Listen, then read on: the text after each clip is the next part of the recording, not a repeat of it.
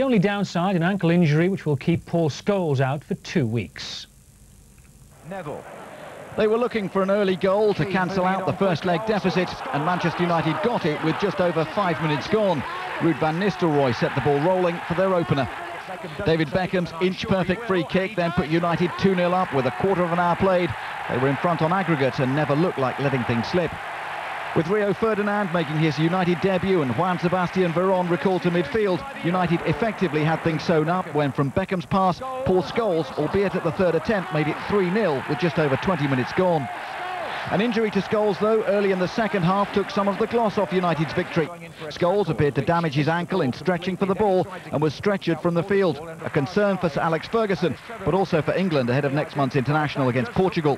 A quarter of an hour from time, Zalaegerszeg's keeper, Sasha Illich, was sent off for his challenge on Van Nistelrooy, and the Dutchman scored from the penalty to make it 4-0.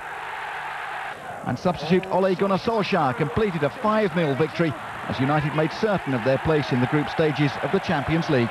Ian Bolton, Sky News.